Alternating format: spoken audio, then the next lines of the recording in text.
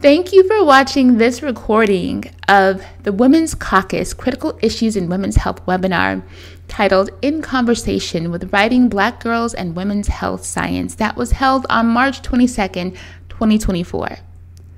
The APHA Women's Caucus is committed to providing a forum for the uninhibited discussion of emerging, not often considered important issues affecting the lives and health of women.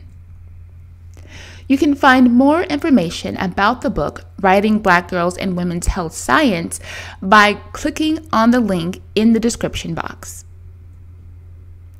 You can follow the Women's Caucus on our website and social media platforms to stay abreast of our current activities.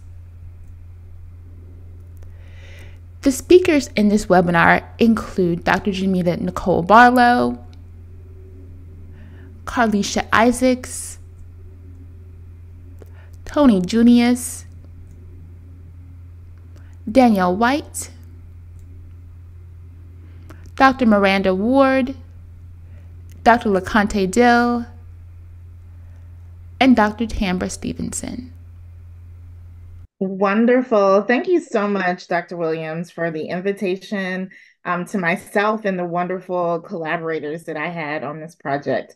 Um, first, I just, I'm actually in Chicago and I just want to acknowledge the land that I'm on in Chicagoland, the three fires, the Confederacy, the Potawatomi, the Ottawa, and uh, the Ojibwe nations. I always like to honor the land, the people who work the land, and the resources and knowledges that came from the land.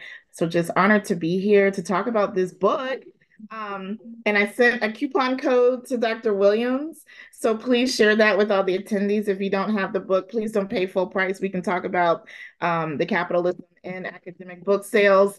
Um, but I'm excited to be here because this idea and project actually um, originally was birthed in an election year. It was 2016 myself and Dr. Dill, Doc Dill, like I like to call her, um, we were on our way to NWSA, National Women's Studies Association, for a meeting, and we were very much, um, you know, it was a time right after the 2016 elections. They were checking our return flights to Canada. That's where the meeting was. And they really wanted to make sure that all these women were coming to um, to Canada after this election. And when we were there, she and, a, and another um, friend, we were all talking about just like how disenchanted we were with kind of the state of how we're addressing Black girls and women's health. And one of the panels that I went to um, was a panel filled with editors from journals. And one of them was the great Paula Giddings. Um, if you don't know Paula Giddings, please do look her up. And um, and her contribution to the literature on Black women's history is just enormous. And so I remember standing up and saying, "Look, this is our struggle. This is our frustration." And um, and Paula Giddings, Dr. Giddings was just like, you know what, you should do a special issue in my journal. And we actually ended up being the last um, special issue that she approved prior to her retirement. So that can be our claim to fame. From there birthed so many projects. So we did the special issue in Meridians. Um, it's a women's studies journal. You can check it out. And I co-edited with Dr. Dill, and you'll hear from her shortly. And then what happened is um, from there, I was at Towson University at the time. We had the first conference, to my knowledge, of that level. We had over 200 participants there to talk about Black girls and women's health. And it was beautiful at Towson University. And then from there, I developed a course at George Washington University um, with the name, the same name as the book, Writing Black Girls and Women's Health. And I've taught that twice. And then I had, um, I was in an APA conference, American Psychological Association and they asked me this the, the publisher of the book asked me to write a book on my research. And at the time it was 2020 2021 i forget which year. And i had had experienced a lot of grief due to covid family members um, who had covid. And i decided i could not write a book but i drew upon my village. And so i reached out to all of the folks in the book and they said yes and this is what we created. And so you're going to hear a little bit about what everybody did. Um, i want to frame it um, first, and then I'm going to introduce everyone. So, because it's a lot of us on the call, and I want to be mindful for all of our time. But I'm thank you. I'm thankful for all of you who are in the room. Some of these names look familiar. You could have been everywhere, but you decided to be with us on this Friday, so we're grateful. I want to just um, I have an opening quote that I want to frame it to just give you a little bit more about me, and then I just want to punt it to the others, and then we'll just have a conversation. So the quote that I like to start with is on page three and four of the book. If you don't have the book, I think you just put the file, the coupon code in the chat. But one of my favorite quotes of mine is what we're trying to do in this book. And a lot of people are like, what do you mean writing Black girls in women's health science? Um, I explain it in the introduction, but in short, I teach writing about women's health at GW, and people think writing is just writing. But writing about health also requires you to think about um, your ontologies and your epistemologies. And those are your philosophies of science, those steps that come before what methodology you choose to do.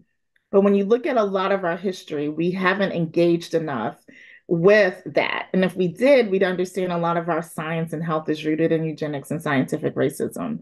So, how can we reframe that? And so, I asked these beautiful, beautiful scholars to say, what are your philosophies of science? And that's what they did. And so what we're doing is, and I quote on page three and four, we subvert notions of whiteness, patriarchy, and capitalism as the gold standard for health behaviors, frameworks, theories, and methodologies. When we have epistemologists such as granny midwives, birth workers, community healers, church women, hairstylists, conjurers, herbalists, and naturopaths with ways of knowing that have carried us over generations. Why don't we engage in those ontologies and epistemologies? They've sustained us and they will continue to sustain us and allow us to thrive.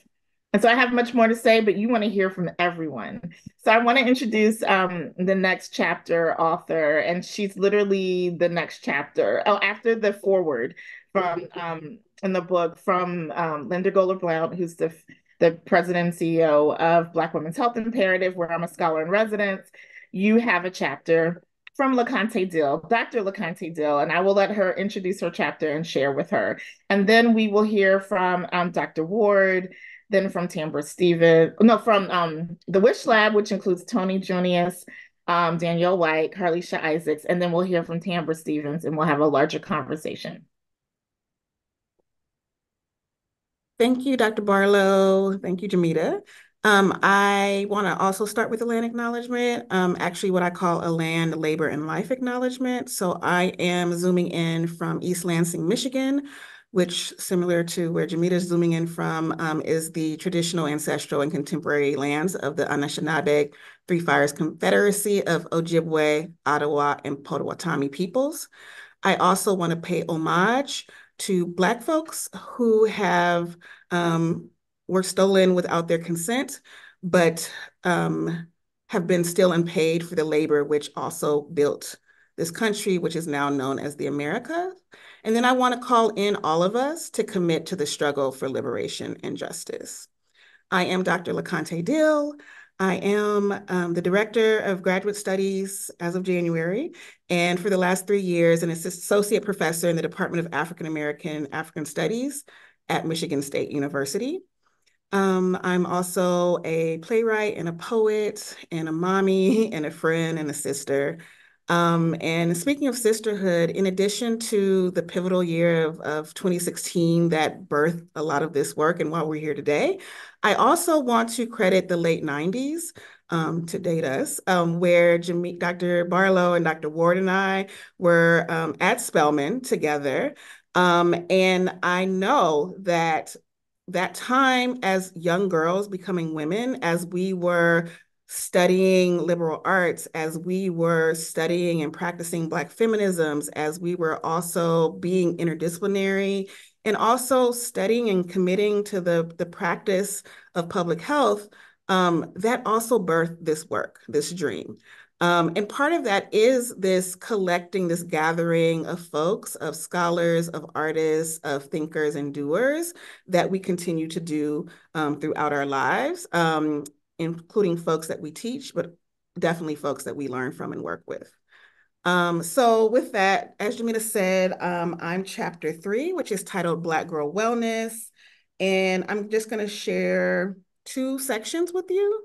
Um, the first is a invitation to know and remember. So I want you or us all to know and remember Black girls beyond trauma, beyond statistics, beyond erasure, beyond hashtags for lives that are snuffed out. I want us to know and remember Black girls as nuanced, as joyful, as protected, as ordinary and extraordinary, as healing, and as worthy. Shout out to Worthy Wonder, who is my daughter, but also reminds us that we are worthy. And then um, just given the time, I want to um, in the conversation for now, my part with um, an invitation to practice very briefly with me. So everyone on the call, um, if you just want to do a quick meditation, um, a contemplation, this appears on the book, um, starts on page 33. So get comfortable in your seat. I invite you to close your eyes. We're only going to be here for a beat. Take a deep breath, expand your body, expand your notions of yourselves and the folks that we work with. Take a deep, longer breath out. Continue this practice of breathing deeply in and out. And I invite you to remember your 14 year old self. What do you see? What did you call yourself then? Call out to them. What were you proud of back then? What were you worried about? What do you know now that you wish you knew back then? Tell them that. Give them some tips for their journey. Remind them that they are enough. You can come back to this collective Zoom space. Thank yourself for that brief practice. And I want to thank everyone for that collective practice. Thank y'all. Thank you, Dr. Dill. And we're going to engage in more conversation. Next up, you have Dr. Ward. Thank you so much for coordinating all of this and for curating this masterpiece, Dr. Barlow. Um, I appreciate the the exercise, you know, Doc Dill. So thank you for, you know, allowing for us to engage in that meditative practice. My name is Dr. Maranda Ward, and um, I go by she, her pronouns. I'm a cisgender black woman, but I will forever be a black girl. And I just wanted to, you know, highlight that this book is actually called Writing Black Girls. I don't know if you noticed the, the term black girls is combined as an identity. And I really think that it's really important for us to think about how black girls, um, not just the developmental perspective of like, oh, first you're a girl, now you're an adult. No, just thinking of black girls as an ethos and so that's one of the things that I, hopefully we'll be able to kind of talk about in our Q&A discussion. But I'm a forever black girl. I'm also a forever a Cali girl, like Dr. Hill. and so, you know, mama from Arkansas, daddy from, New, you know, New Orleans, migrated out west. And even though, yes, that's where I was born and raised, I have planted roots in the nation's capital, Washington, D.C., which is where I'm calling in from, which is the uh, ancestral lands of the Nacostic tribe, who um, historians refer to as the Anacostans. And I, you know, describe myself as a community engaged scholar. All of the courses that I teach in the School of Medicine and Health Sciences at GW are community engaged. And so my classrooms are never limited to the four walls of, you know, any academic building. DC remains my classroom. And so when I was thinking, I know during the height of the pandemic, when, um, you know, the then Surgeon General Jerome Adams basically got up in front of the nation and um, was talking, there was like a coronavirus, like White House briefing, and he was talking about how Black and Brown people need to do better and, you know, get off drugs. And basically, if you don't do it for yourself, do it for your big mama that really struck me for a variety of reasons, I'm sure. but in thinking about who big mamas are, right? And literally the title of my chapter is, you know, Black women stay fighting structural racism. And I, I call out other mothering as community praxis, right? So again, Black women have been doing this work. And, you know, and that's one of the kind of the lens that we bring to this book of not just focusing on you know, disparities and lack and, you know, and risk of Black women, but the ingenuity and the strength and the the healing. And so I want to just call out that I recognize the historical, social, and cultural connotations attached to describing Black women as caregivers.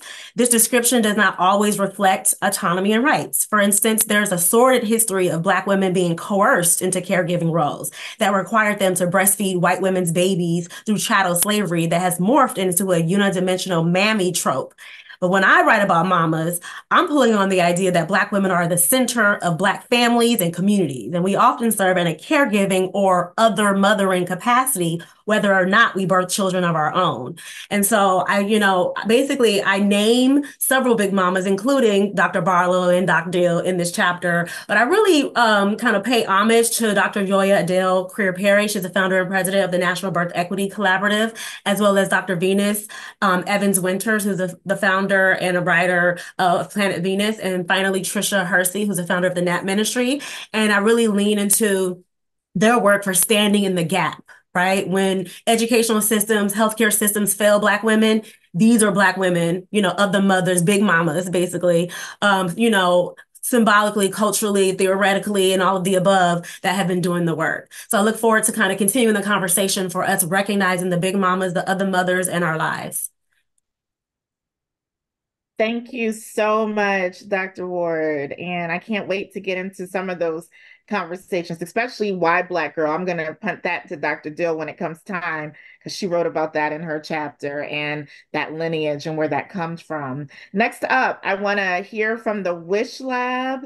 Um, and I'll we'll start with Toni and then have Danielle and Carlisha chime in, but I know that Toni and Bria um, really corralled this group together. And before, let me introduce who the WISH Lab is. It's the Women Intersectionality Science and Health Lab. This is my research and writing lab. Um, which you know went a little you know this has been a crazy year but you're going to get an email from me lab um, and so we'll, we'll talk more but i want you all to talk about your experience and and your chapter and then we'll we'll go to Tambra Stevenson Yes, thank you, Dr. J. Um, yes, being a part of the WISH lab has just been such an amazing experience. I was a part of the lab as a graduate student at GW. And um, so a little bit about me, Toni Junious. Yeah, so I am based in Washington, D.C., but I'm bi-coastal, so I'm tuning in from the San Diego area, so a Cali girl also. Um, and I'm a healing artist, holistic wellness practitioner, and women's health researcher. Um, so I have many hats, um, like many of us, but really excited to come today as my writing hat. Um, so the Wish Lab was just a great way for me to share my student ex experience, especially at a predominantly white institution of like how we can center the lived experiences of Black girls and Black women when we talk about health, like in the public health space. A lot of times it's the deficit approach. Um, it doesn't always talk about our holistic practices, like Dr. J grounded us in the beginning of our lineages, of our ancestors' practices. And so to have the course and the lab to really dive deeper into that has been such a beautiful experience to uh, write alongside um, my colleagues and the process too to edit with Bria um, and to have these conversations with the students, um, which is so meaningful. And then when Dr. J was like, Do you want to be a part of the book? I was like, Oh, this is so special and sweet to have our writings and our musings like physically live somewhere. Um, so something I just wanted to share, and then I'll pass the mic to the rest of the group. Um, so when we talk about Black girls and women's health, um, something that I wrote in the chapter was radical joy and intentional rest is how Black girls and women find meaning and cope with life's stressors to feel whole again we can reimagine Black girls and women's health by integrating Black feminist and womanist approaches to health that center the everyday experiences of Black women and girls discovering self love, self care, sisterhood, well being on our own terms. And recognizing ourselves as our number one priority is how strength can transform into intergenerational healing. So that's kind of what grounded me in the writing of this chapter um, and just kind of the lens I come from. So I'll pass it um, to Carlysha. Hi, yes, thank you, and happy Friday to everyone. Um, very excited, very happy to be here. Um, similar, just to reiterate Toni's sentiments and everything, um, this truly was just a very honoring um, opportunity that Dr. J invited us for and everything. Um, I joined the Wish Lab um, as a postgraduate. Um, and so, as Dr. J always says, you know, once a member of the Wish Lab, always a member of the Wish Lab. Um, it really is just a community of individuals coming together from different backgrounds of both um, academically, professionally, different interests that all happen to have alignment um, and overlap with one another. Um, and so again, it this was just just the biggest honor. Um, and one of the things that we really um, emphasized on in terms of the themes um, within our chapter um, was Black joy. And there's also um, a part of it where I think Toni really eloquently describes um, in terms of redefining strength, um, specifically with Black women and girls and everything. And just to reiterate that, I there's a quote specifically with Audre Lorde um, in terms of self care um, and just self care as a radical act, um, where she says, caring for myself is not self indulgence, it is self preservation. And that is an act of political warfare. And I believe that because of the health disparities within our society, um, and experiencing things like joy and rest and laughter and having those moments of happiness within your community makes it all the more important and all the more political. Um, and I will stop there and pass on to Danielle. Thank you, Carlysha, and thank you, Toni. I'm Danielle Whyte. I'm a junior undergraduate student at George Washington University. I became involved in the Wish Lab my very first year, first semester, when I took Professor Barlow's incredible course on Black girls and women's health. And that was the beginning of beginning to think critically about my identity within the context of health and joy and sickness and forward movement and backwards movement all together. And so when I think about my contributions to the 13th chapter, I'm thinking about what it means to leave behind that legacy of assuming that Black women are meant to simply be exhausted 24 8. This legacy that assumes that Black women are meant to feel sick and tired consistently. I integrate the Fannie Lou Hamer quote that says, I'm sick and tired of being sick and tired. And that is exactly where my writing takes me. I want a world where Black women, when they are sick, they're taken care of. When they are tired, they're taken care of. And when they're joyful and light and vibrant and feeling good, they're also taken care of and held. Before logging on, I was thinking about how I was coming into the space as a Black woman, as a Black girl, and I couldn't help but think about Sanaya Spain, a 19 year old Black woman who had her life taken because she rejected a man's advances. She was with her twin, going to the bodega late at night, just want to get a little something, and her life was taken from her. And when I write, I think about the stories like hers of the devaluing of Black female existence to the point where so recklessly our lives can be taken. And when I think of that, that even further propels why I write. I want to write to create structures in which Black women, Black girls are so worthy, so cared for that violence is not even a thought nor a threat. And I think that's what I write for. I write for all of the girls who just want to have fun with their homegirls and go to the bodega and get their favorite snack. That's what I write for. I'm writing for the Black mothers, the Black girls, Black femmes, anyone who has felt that Black femme experience. I'm writing for all of those populations. And to wrap up before I pass it back, I'm always thinking of this painting by Annie Lee. And it's this Black woman She's in her nightgown, her white nightgown, and she's sitting at the edge of the bed. And she just looks tired. But as I re looked at the image before I logged on today, I couldn't think about the fact that she's sitting at the edge of the bed because she's still getting up. She's absolutely exhausted. You can see it in her body language, but she's still getting up. And I think that is the Black girl magic. The idea of even though we can be so exhausted. We're tired. We're just in our nightgowns. We want to go back to bed. We want that rest, but we're still getting up. And so to write for that balance of that black girl magic that picks us up when we're down is why I write. So I'll pass it over to Tambra.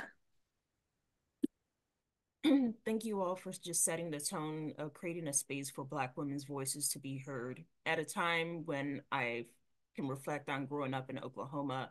Uh, though we have a strong Black history, it's been even marginalized within the canon of Black America.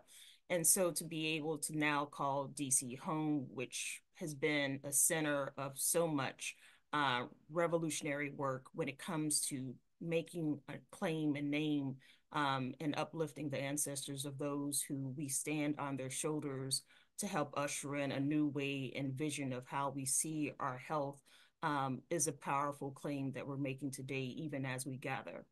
When I think about chapter 14 that I contribute to the after uh, after forward um, in collaboration with a number of scholars, one who I've called a mentor, Dr. Tariki Kumika, which I was an intern when she was at UPenn before Drexel. Uh, Melissa Wood was on that same research team. So we go way back. Um, but in 2019, when we convened to create the Council on Black Health, um, just as someone who was just a PhD student still at American University School of Communication, uh, thinking through my com lens of what if we had a declaration of some kind that really created a framework and how we think about Black health as this new organization comes into fruition. I thought about the Black Panther Party and what they did with the 10 point program. I thought about the UN Declaration of Human Rights and this right to food, right to health, all the things that we still have not signed on as a country. And I thought that what would a framework do for scholars, do for advocates, do for just Black people in making a declaration as the founding fathers of this country did in sharing their grievances to the British Empire. And so for that, I just wanted to just inform the importance of why these sorts of frameworks matter um, and how we can think about how to use this in our everyday work, in our scholarship, um, because frameworks matter as we know as scholars. It helps to make meaning of the mess and help to organize and really not just agonize, but help mobilize movements around these issues like Black women's health. And so one frameworks help with legal recognition of understanding that a Bill of Rights can provide some kind of legal weight and signaling that we're not merely just making suggestions or aspirations, but it's fundamental into the entitlement of how we should see ourselves being protected and upheld with these rights. It, it, empowers us as a people, and, and one of the rights speaks to that power and autonomy and the agency that we continuously have to fight for in this climate of anti-DEI work that we cannot be rested. Um, but we have to understand this isn't an everyday fight. We've seen it in the Reconstruction era and history only repeats itself as we understand Sankofa from the Akan tradition. Also, it provides the visibility that we know that these sorts of documents can provide to help articulate and sharing talking points and speaking to media, to policymakers, and to anyone who doesn't understand why Black health matters and how that Black health matters began really declining post emancipation when we were no longer property of slave owners who saw the benefit of keeping their property healthy, but now saw the need to no longer provide those same health benefits to us as humans and individuals. And the historical context that we paint here is also the clear reason why, because at a time when in the early 1900s, late 1800s, when you look at Black women who down into ski beyond before there was ever a syphilis study. And part of what my research at AU speaks to is understanding Black women's health activism at the local level was the foundational work to what Booker T. Washington and others were ever doing. And their names have to be uplifted um, because they have been these hidden figures in our healthcare system. And so when we think about going through these articles, I really want folks to say this this was foundational work. How can you move this forward? How do you operationalize this?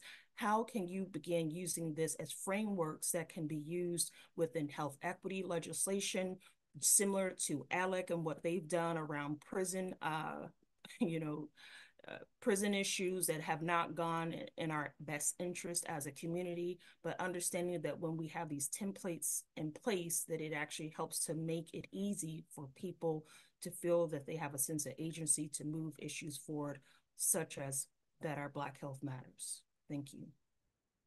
Thank you, Tambra. I appreciate how all of you have kind of framed I think kind of how I want the conversation to go now. What I'm going to do now is really offer up um, some questions for what I've heard and how you all have framed your chapters. Um, I want to start with LeConte, and just in the interest of time, if we can keep it brief, but I know, I know.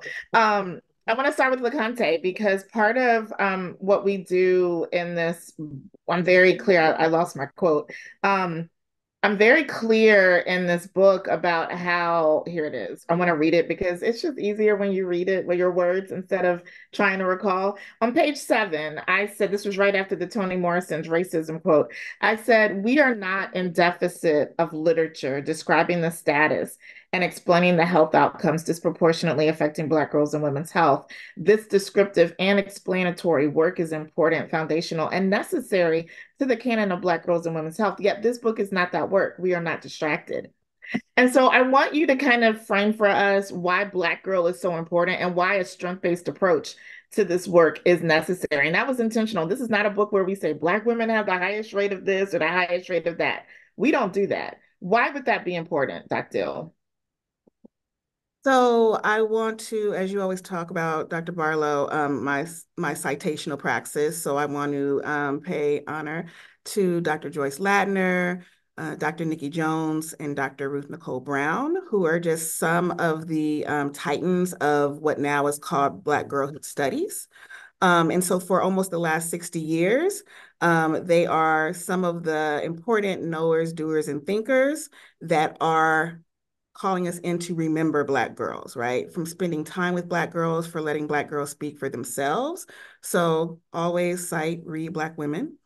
Um, and in their work, they are reminding those of us who are Black women to do what I asked for in the meditation, like remember our own Black girl selves and not erase that or just move on, um, particularly as we go into our professions, our data collection, our analysis but also in the public health field. Um, we know that public health at times can even forget ourselves and the work that we've done as a field, um, that like amnesia. Um, and so public health um, often just collapses Black women's health.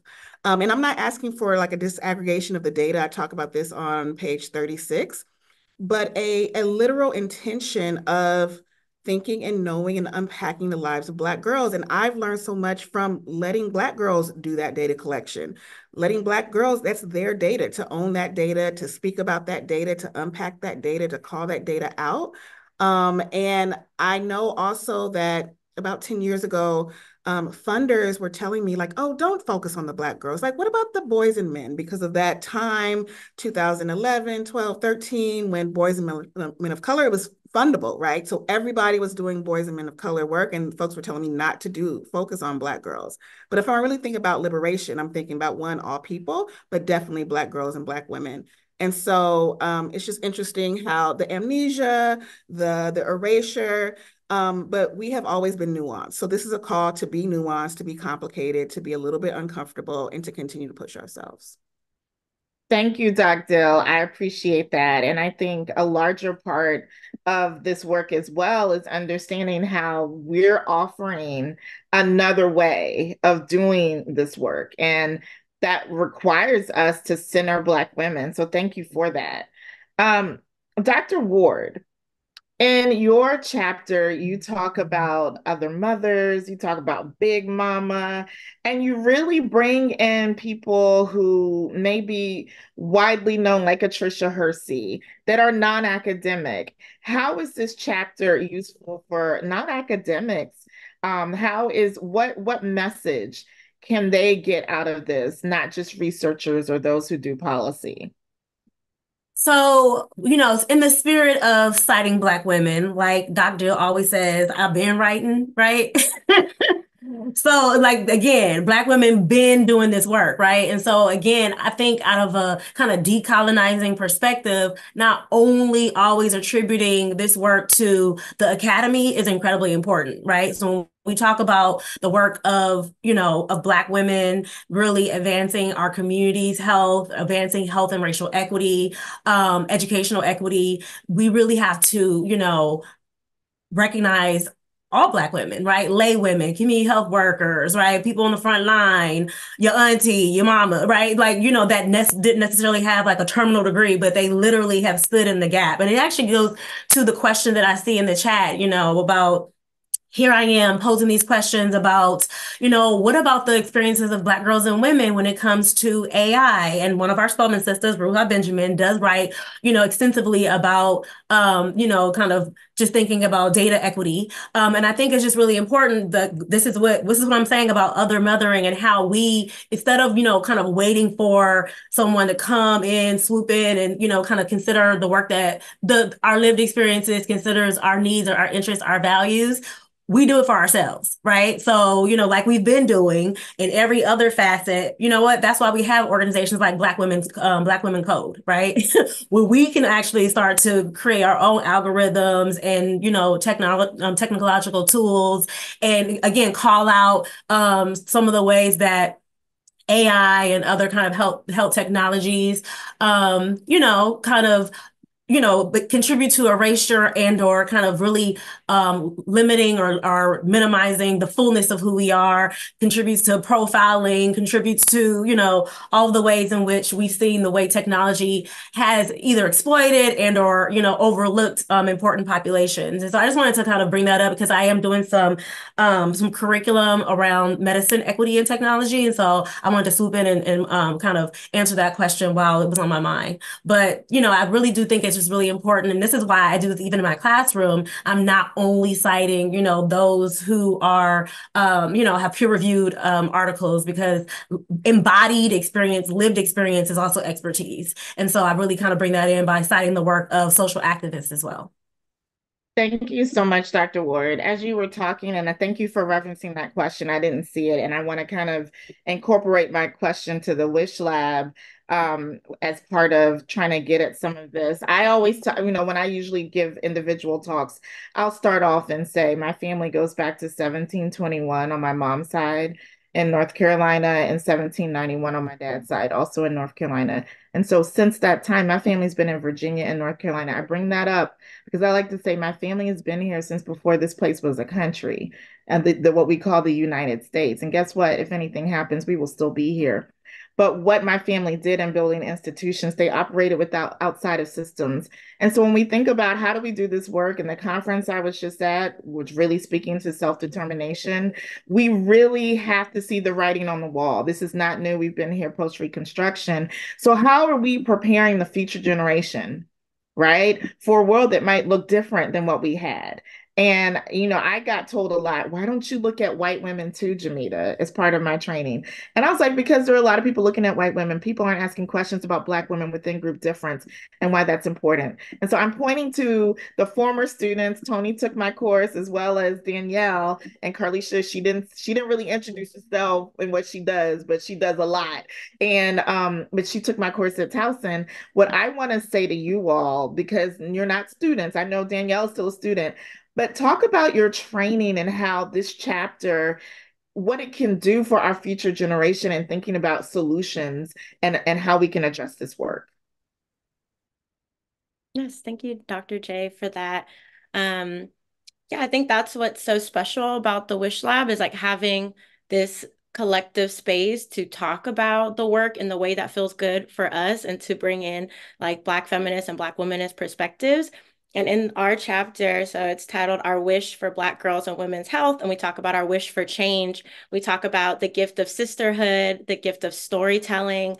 And that is, in my experience in academia, especially in predominantly white institutions, uh, like where our course was, um, they don't always give space for that. And especially, they don't give space for that in the context of Black women and girls and Black cultures and the Black diaspora like Dr. J, you mentioned, like when they want us to compare ourselves to other groups, it's like our group itself is so di- like um, diverse, like the diaspora, even us in the Wish Lab are very diverse. And we talk about that in the chapter where we come from and our backgrounds. But um, but that's what I appreciate about having this like sister circle of sorts as a researcher, as a writer, as a scholar, that academia and the institutions often are isolating, especially as Black women.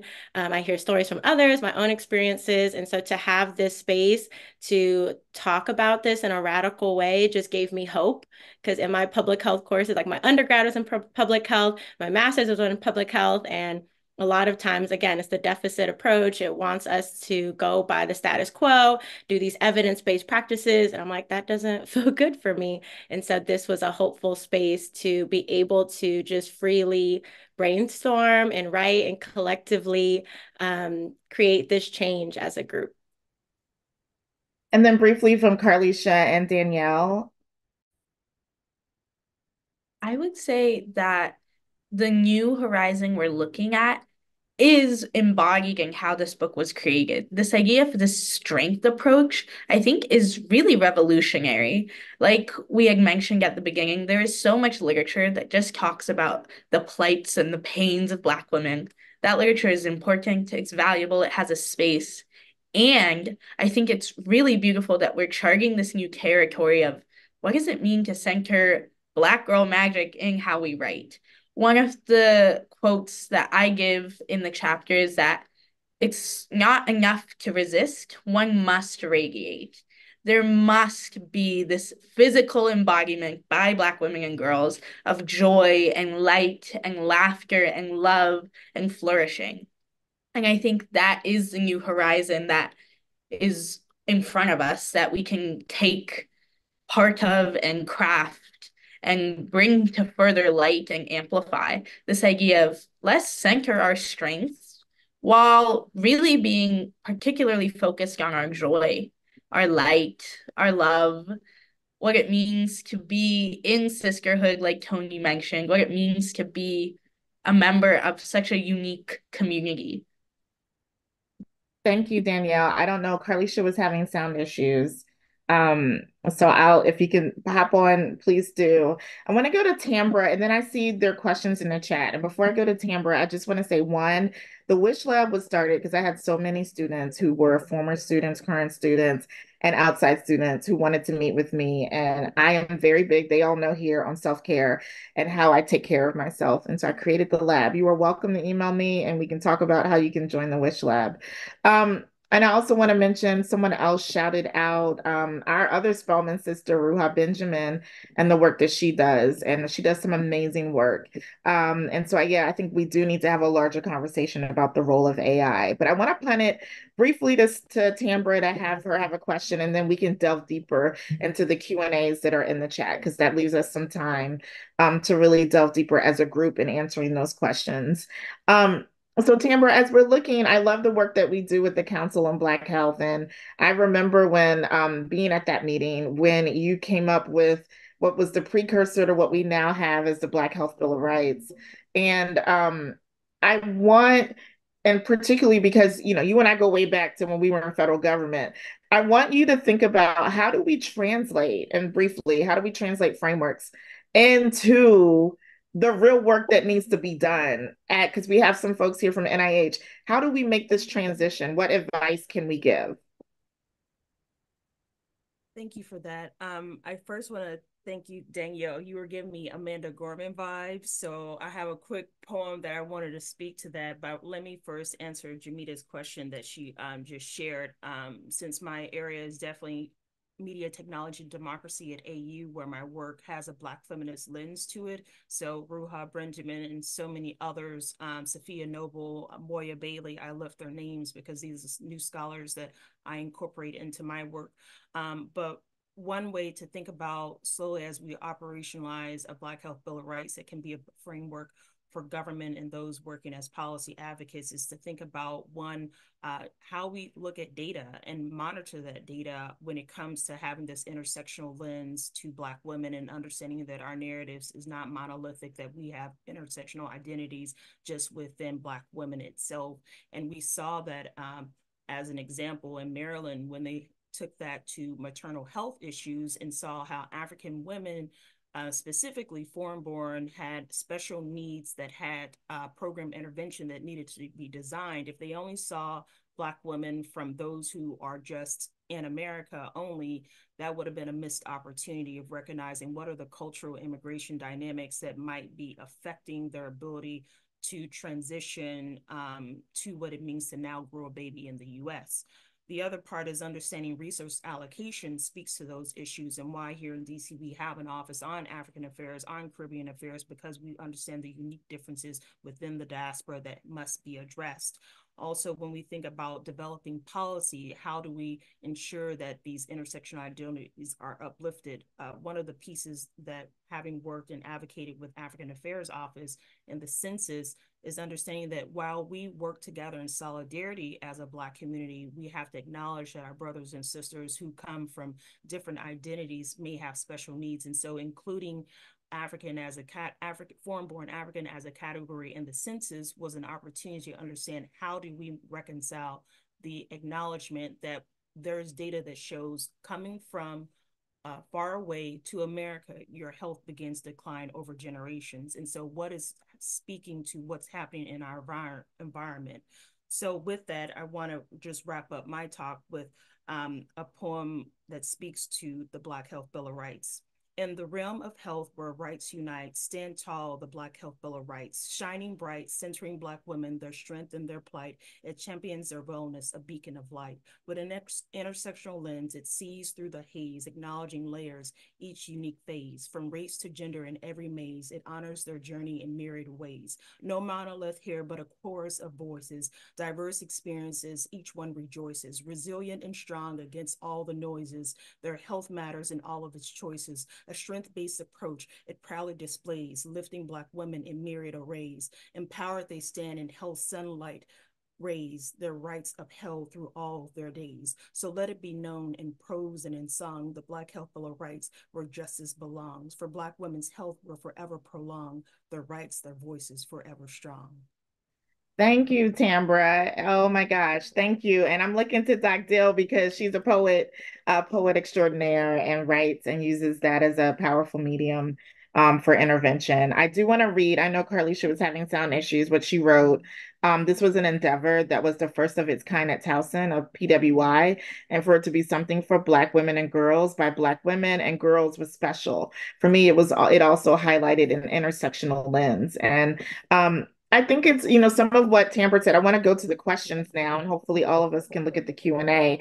I want to address a few of them and then have the rest of this panel, wonderful panel, kind of jump in. But I want to say, because Tambra, uh, she offered up, let, let's talk about Spelman College, right? Let's be real. If you understand that the names that were mentioned, Moya Bailey, Ruha Benjamin, Ruha was the valedictorian of my class um, LeConté and Maranda and I knew each other from Spelman, and so many other of our Spelman sisters are doing this type of work um, in some interesting ways. So let's talk about what happens when your first year in college, you read, you have a class devoted to Black girls and women called African Diaspora of the World. So that my framework in college as a first year student is rooted in Black women, and my whole career stems from that. What happens when we change our curriculum and you center Black women? What happens when you change policy and you center Black women? I've written about that in a paper I did with Bria Johnson on women's health issues. Um, so when I'm looking at some of these questions about how we can uplift, what happens when you center Black women, we know from Black feminisms that you help everyone. Someone else mentioned Dr. Bonnie. I worked with Dr. Bonnie at Towson, um, and Carlysha may remember Dr. Bonnie, and she's a be- she was a beautiful spirit. And so what happened there was unfortunate. But I can tell you that those issues are not just where she was at Lincoln. It, they're everywhere. We battle that because what you heard today and what this sounds great right? This sounds great, but you have no idea how hard it was to get the special issue. You have no idea how hard it was to get this class at GW. Okay. So these are the stories we don't talk about the fight to get a place, the fight that I had on the title of this book. Okay. With the publishers, the fact that this book is too expensive. Right. So I want to shut up for a minute because I could talk forever. Honestly, each chapter could have its own conversation. Um, I want us to first address, um, I see there's seven questions. I tried to address a lot of the larger ones, but um, I want to open it up. I think um, I like the idea. I kind of addressed a lot of them, but Kyle Moore has a question. Sorry to call you out, Kyle, but it says, what should be the balance between uplifting and supporting the work and research on Black women and girls being done by Black women and girls and pushing other white male institutions and scholars to take up that work seriously? Truth be told, there are a lot of white men who built their careers off of low income Black women and they did not talk to one black woman as part of their ontology and epistemology. So we need to shift. This should be a book taught in all methods classes. Why aren't we thinking about centering Black women's voices and knowledges? Because their frameworks, there's so many other disciplines, but I want others to chime in. Um, I can't do this in an organized way. So whoever wants to kind of respond to that to that question, please do.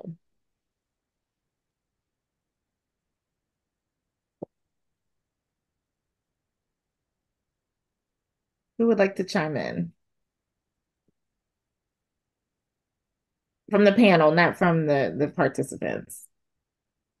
Yeah, I can share. So uh, then I'll, oh, Dr. Dill, if you want to go. go okay. Uh, well, I was going to say, yeah, to your point, Dr. J, is that like, yeah, a lot of academia and research has been really extractive and exploitative of our community. So there is a fine line of like, yes, we want this to be uplifted, but also it has to be at the root led and for us, right? And so to like uplift researchers and researchers in an expansive term, not just people who go to an institution or have certain degrees, but people on the ground in the community who are experts of their own lives. I think that's where I see this research and our scholarly work going is, um, so again, to your point, Dr. J, with the book not being as accessible as we would want it, because when I talk about this work, people get excited and then I'm like, oh yeah, let me try to help you with this book. So yeah, I think just really centering our communities and uplifting our own communities' voices. And then other people can use our work to share. But yeah, I think there's kind of a fine line between the power dynamics there. Thank you. Dr. Dill, if you could jump in, and then Dr. Ward, if you could jump in on the NIH question. Sure. I would just add that um, many of us are working to disrupt the systems that we're in. Um, we are working to shift the academic journals, the um, the academic books, the coursework curriculum, even um, showing the alignment of our important work with like CEPH competencies. Um, for example, I have in the CEPH competency, one of the CEPH competency textbooks, I have a chapter about my pedagogy and practice of centering wellness, which is all about learning from Black feminist literature um, to learn about health broadly. Um, but I would also say, in to Dr. Um, Barlow's point of self-care, we also, I think many of us are also calling each other in around not killing ourselves for institutions that were not meant for us. Um, Dr. Alexis Pauline Gumbs says, um, the university does not love us, but the universe does. Um, so remembering that, we often definitely lean on our um, activism, our, our communities outside of academia or outside of government. Uh, we've learned that from our instructors in the AUC that we're definitely professors and always activists. We're leaning on, you know, like like Dr. Ward said, like our big mamas, like our aunties. So thinking about like those, the living rooms.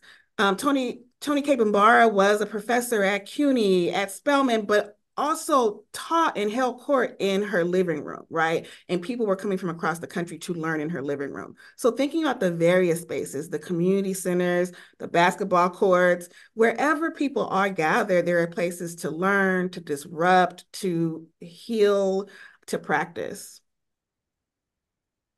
Dr. Ward, I saw you wanted to answer the AI question. Please jump in. Oh, yeah, no, I answered the AI question earlier about the importance of us, you know, like not waiting for someone else to, you know, like, oh, look, they're not they're not answering my questions about the fact that black women and girls stay overlooked in the AI space and recognizing like, okay, so this is where we come in. Like we've been doing, you know, that work in education, in healthcare, now, yes, in technology, right?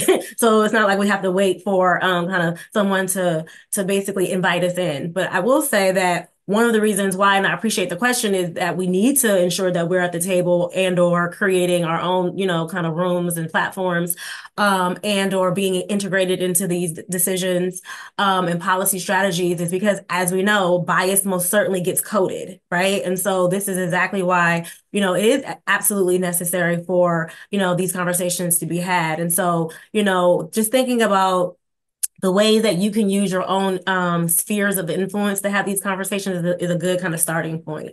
And, you know, I like, I see there's a lot of questions in the chat or some comments in the chat about how appreciative you are of having a space like this to just recognize and, and honor, you know, Black people, right? Just loving it. Like, uh, you know, here we are, like, you know, Women's History Month, you know, off the heels of Black History Month. And, you know, it's incredibly necessary. Um, to you know continue to like have these carved out spaces for ourselves. And i'll also just um end with before i'll turn it back over to you dr barlow because i see there are two questions about the wish lab and how to get involved. But i'll just say that you know when we talk about the importance of centering and um you know the lived experiences and values and interests and, and knowledges of black girls and women we're not suggesting that only you know black women can do this. We recognize that there may very well be scholars who don't have that identity that can do this work but for them to do it they need to be steeped in um, the epistemologies of black women right? So that it's not performative and tokenized and exploitative like we've been talking about right? So and then not to mention there's such within group um, kind of diversity um, that needs to kind of come to the fore with whoever does this work including black women Thank you for that, Dr. Ward. For example, in the Wish Lab, we have South Asian women, we have white women. Two of the co-authors in the Wish Lab were white women, identify as white women. Um, and so what I would offer, I know we're we're right at the end time. If that if I'm correct, I'm gonna turn it over to Dr. Williams shortly. But I just want to thank all of you all publicly for the time and all the many emails I sent you and all the edits. Um, and for also standing in the gap and that's what I think is the work. Someone had the question about how do we remain loyal to each other. I honestly couldn't have written a book, but I knew that I could call upon my village to get a book that needed to be heard at such a time as this when books are being banned, when we literally have policies that are saying to call yourself a black owned business. Um, or focusing on Black women is a bad thing. It's becoming unconstitutional. So this, I'm inspired by my ancestors who built a school in the 1800s, post reconstruction, uh, during Reconstruction, and a time when Black people were still being lynched, when Black people were still being punished for reading and writing. I wrote, I wrote about that in the intro. This is important work, and regardless of what's happening, we're going to still be here and do the work. And this time calls for us to do this type of work. So I want to thank all of you for being here. If you want to reach out to me, um, I can, can you put my email in the chat, Dr. Williams? I'm happy for them to email me, JN Barlow, and as in Nicole, B A R L O W at gwu.edu. I will find I will respond. Give me a give me about a week because I'm out of town and I believe in turning it off on a Friday afternoon. Um, but I will respond to you next week. I hope that you're all well and taking care of yourselves. And I'm immensely thankful that you could have been anywhere, but you decided to be here. Even the chapter authors, thank you. Um, and thank you, thank you, thank you. I'm in gratitude. And it would be a misservice to not acknowledge um, Shirley Chisholm's documentary drops today on Netflix. So make your little black girl spaces, watch it, talk about it, be inspired election year. Yeah. Thank you, Tambra. And let's remember Black women create institutions. And Shirley Chisholm, why we have the Congressional Black Caucus is because of Shirley Chisholm. So let, mm-hmm. let's be real about the work that they've done regarding policy, et cetera, reflect girls and women and Black folks so thank you all so much. Again, I'm just and not even a shameless plug. The book, the book, the book is available. I put the um, flyer in the chat box, but I will also be emailing it out to everyone. So make sure that you get your copy of this book and read it, use it, and share it. So thank you all so much. If you have an idea for something, please reach out to me and let me know because I would love to feature more work focused on Black girls and women's health. So with that being said, thank you so much. And thank you again to our panelists. Thank you, Jameta. I just appreciate you assembling this wonderful panel of women who are doing amazing work. So thank you all so, so very much. And happy Women's History Month.